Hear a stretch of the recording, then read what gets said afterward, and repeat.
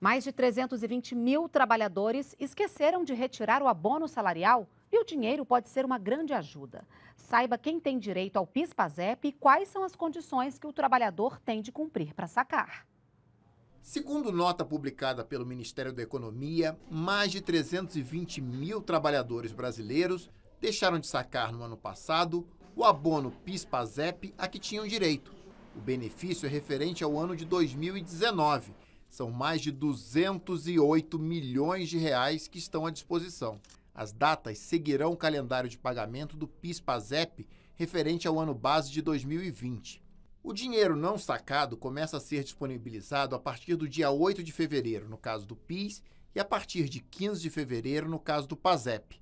O trabalhador poderá fazer o saque até 29 de dezembro. O valor varia entre 92 reais a R$ 1.100 de acordo com a quantidade de meses trabalhados. Vai ser mais ou menos os 800 reais.